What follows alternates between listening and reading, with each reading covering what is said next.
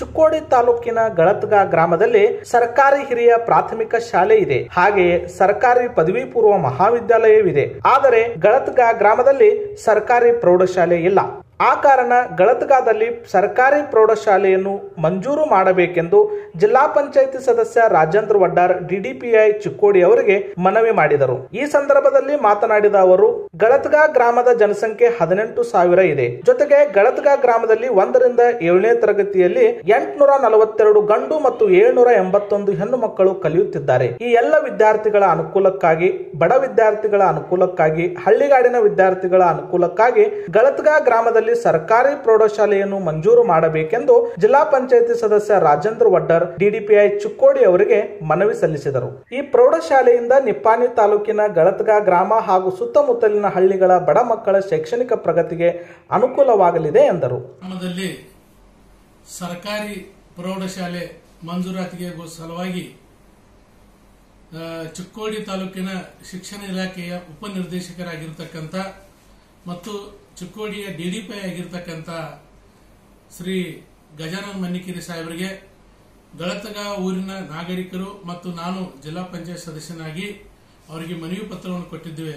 ಏನಂದ್ರೆ ನಿಪ್ಪಾಣಿ ತಾಲೂಕಿನ ಗಳತಗ ಗ್ರಾಮ ಹಾಗೂ ಸುತ್ತಮುತ್ತಲಿನ ಹಳ್ಳಿಗಳಾದಂಥ ಹಳ್ಳಿಗಳಲ್ಲಿದ್ದಂತಹ ಬಡ ಮಕ್ಕಳ ಸಲುವಾಗಿ ಗಳತಗ ಗ್ರಾಮದಲ್ಲಿ ಸರ್ಕಾರಿ ಪ್ರೌಢಶಾಲೆ ಅವಶ್ಯಕತೆ ಇದ್ದು, ಅದನ್ನು ಮಂಜೂರಾತಿ ಮಾಡಬೇಕಂತ ವಿನಂತಿಯನ್ನು ಮಾಡಿರ್ತೇವೆ. ಅದೇ ರೀತಿಯಾಗಿ ಕರ್ನಾಟಕ ಸರ್ಕಾರದ ಶಿಕ್ಷಣ ಸಚಿವರಿಗೂ ಕೂಡ ನನ್ನ ಪತ್ರದ ಮೂಲಕ ವಿನಂತಿಯನ್ನು ಮಾಡಿಕೊಳ್ಳಿಕೊಂಡಿದ್ದೇನೆ ಯಾಕಂದ್ರೆ ಸರ್ಕಾರಿ ಗಳತಗ ಗ್ರಾಮದಲ್ಲಿ ಹದಿನೆಂಟು ಸಾವಿರ ಜನಸಂಖ್ಯೆ ಹೊಂದಿದ ಗ್ರಾಮ. ಈ ಗ್ರಾಮಕ್ಕೆ ಸೇರಿದಂತೆ ದಿಲಾಲ್ಪುರವಾಡಿ ಇರಬಹುದು ಭೀಮಾಪುರವಾಡಿ ಇರಬಹುದು ಶಿಲಂಗಡಿ ಮರಡಿ ಇರಬಹುದು ಇಲ್ಲಿ ಬರ್ತಕ್ಕಂಥ ಮಜರೆಯಲ್ಲಿ ಸರ್ಕಾರಿ ಮತ್ತು ಖಾಸಗಿ ಶಿಕ್ಷಣ ಶಿಕ್ಷಣ ಸಂಸ್ಥೆಗಳಲ್ಲಿ ಒಂದರಿಂದ ಏಳನೇ ತರಗತಿವರೆಗೆ ಎಂಟುನೂರ ನಲವತ್ತೆರಡು ಗಂಡು ಮಕ್ಕಳು ಹಾಗೂ ಅದೇ ರೀತಿಯಾಗಿ ಏಳ್ನೂರ ಎಂಬತ್ತೊಂದು ಹೆಣ್ಣು ಮಕ್ಕಳು ಇಲ್ಲಿ ಶಿಕ್ಷಣವನ್ನು ಪಡೆಯುತ್ತಿದ್ದಾರೆ.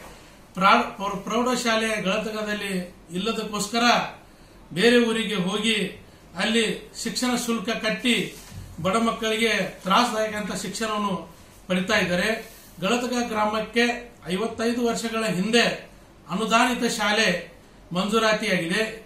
ಈಗಿನ ಕಾಲಕ್ಕೆ ಹೋಲಿಸಿದರೆ ಈಗ ಗ್ರಾಮದ ಜನಸಂಖ್ಯೆ ಹೆಚ್ಚಿದೆ, ಜೊತೆಗೆ ವಿದ್ಯಾರ್ಥಿಗಳ ಸಂಖ್ಯೆಯೂ ಕೂಡ ಹೆಚ್ಚಾಗಿದೆ.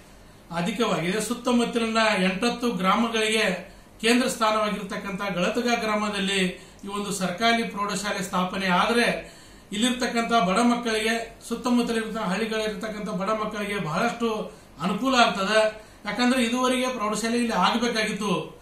ಯಾಕಾಗಿಲ್ಲ ಅನ್ನೋದು ಗೊತ್ತಾಗಿಲ್ಲ. ಆದ್ರೆ ಈಗಾದ್ರೂ ನಾವು ಗಳತ ಗ್ರಾಮದವರು ಇರ್ಬೋದು ಗಳತಗ ಸುತ್ತಮುತ್ತಲ ಇರತಕ್ಕಂತ ಬೇಡ್ಕ್ಯಾಳ್ ಇರ್ಬೋದು, ಭೋಜ್ ಇರ್ಬೋದು ಶಮನೋಡಿ ಇರ್ಬೋದು, ಅಕ್ಕೋಳ್ ಇರ್ಬೋದು, ಮಮದಾಪುರ್ ಇರ್ಬೋದು, ಈ ಎಲ್ಲಿಯೂ ಕೂಡ ಸರ್ಕಾರಿ ಪ್ರೌಢಶಾಲೆ ಇಲ್ಲ. ಅದಕ್ಕೋಸ್ಕರ ದಯಮಾಡಿ ಗಣತವೇತ ಸರ್ಕಾರದ ಮೇಲೆ ಇಲ್ಲಿರ್ತಕ್ಕಂಥ ಜನಪ್ರತಿನಿಧಿಗಳು ಶಾಸಕರಿರ್ಬೋದು ಲೋಕಸಭಾ ಸದಸ್ಯರಿರ್ಬೋದು ಇನ್ನಿರ್ತಕ್ಕಂಥ ಜಿಲ್ಲಾ ಉಸ್ತುವಾರಿ ಮಂತ್ರಿಗಳಿರ್ಬೋದು ಇದಕ್ಕೂ ಕೂಡ ಗಮನ ಹರಿಸಿ ಆದಷ್ಟು ಬೇಗನೆ ಕೇಂದ್ರ ಸ್ಥಾನವಾಗಿರ್ತಕ್ಕಂಥ ಗಳತಗದಲ್ಲಿ ಒಂದು ಸರ್ಕಾರಿ ಪ್ರೌಢಶಾಲೆ ಸ್ಥಾಪನೆ ಆಗಬೇಕಂತ ಎಲ್ಲ ಕಳಕಳಿಯಿಂದ ನಾವು ತಮ್ಮ ಮುಖಾಂತರ ನಾವು ಕೇಳ್ಕೊಳ್ತೇವೆ.